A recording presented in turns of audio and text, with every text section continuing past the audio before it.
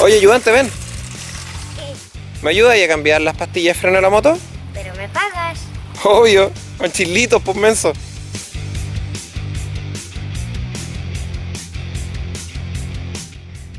Bienvenidos amigos a un nuevo capítulo del canal Te Paseo en Moto. Esta vez nos encontramos con las herramientas y la moto.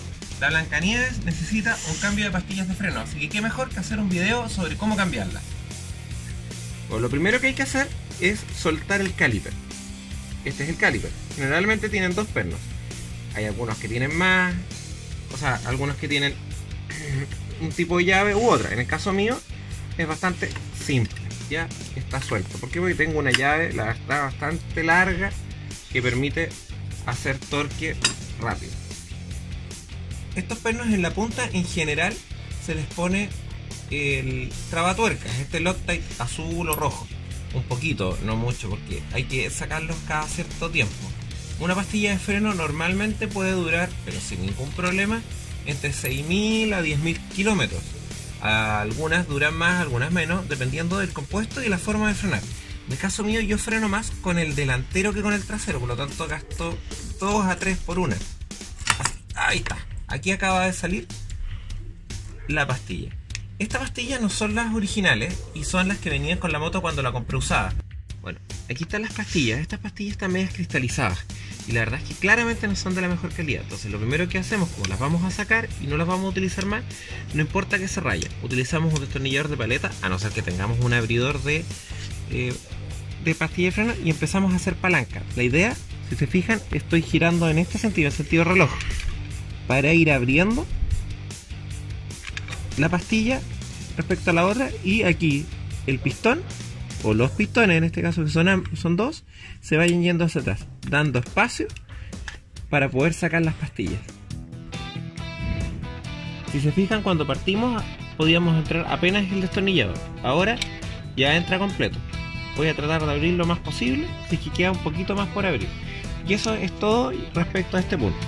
Ahora toca sacar los el pasador de seguridad y estamos listos el pasador de seguridad es este, que tiene un seguro que es esto, que no es más complejo que una piececita que atraviesa el fierro y sale de esta forma.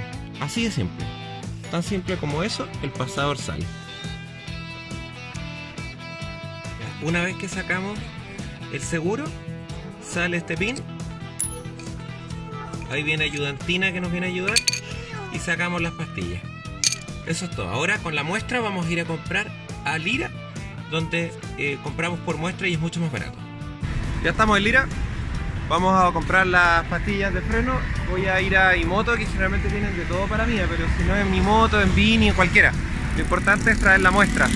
Así es más fácil comprar porque por modelo generalmente te ofrecen una o dos opciones y, o no te dicen que no tienen. Y en realidad sí tienen.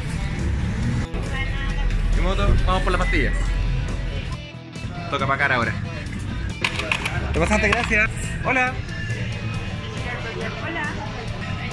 Muchas gracias, tenemos pastillas.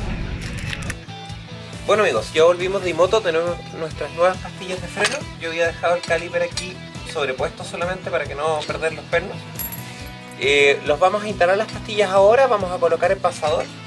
Una de las cosas que, que no deben hacer, nunca, nunca, nunca, es cuando no tienen las pastillas de freno, presionar la maneta del freno. ¿Qué es lo que ocurre? Podría eventualmente salirse uno de los pistones y de salirse el pistón o abrirse demasiado, sale el líquido. El líquido de freno es altamente corrosivo, por lo tanto hay que tener un cuidado único con él para que eso no ocurra. Por lo tanto, colocamos las pastillas, pero no presionamos aún la maneta del freno.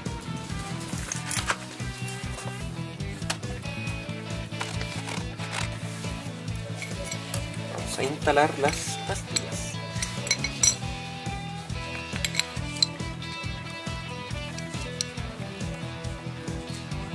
Listo, una. Ojo con el hoyito del pasador, casi todas las pastillas son iguales en términos de su eh, simplicidad. Tienen un pasador, un broche, un segurito. Hay que tener cuidado de ponerlo en la posición correcta, nada más. Así como se sacó, así como se pone. No, no hay más ciencia que eso. Y estamos pasando el, valga la redundancia, pasador. Ese pasador va ahí y entra por presión. Una vez que entra por presión, aparece el hoyito para poner el seguro. El seguro, el seguro lo que hace es obligar al pasador a mantenerse en su lugar y que no se salga producto de vibraciones u otros. Ponemos el caliper. Y apernamos. En estos pernos usualmente se puede poner Loctite.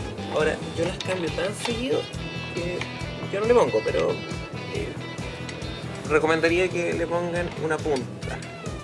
Pero nada, una puntita solamente para que con las vibraciones, sobre todo en estos motores monocilíndricos, no se deshaga. Eso es todo. Bueno, apretamos y luego queda bombear con la maneta.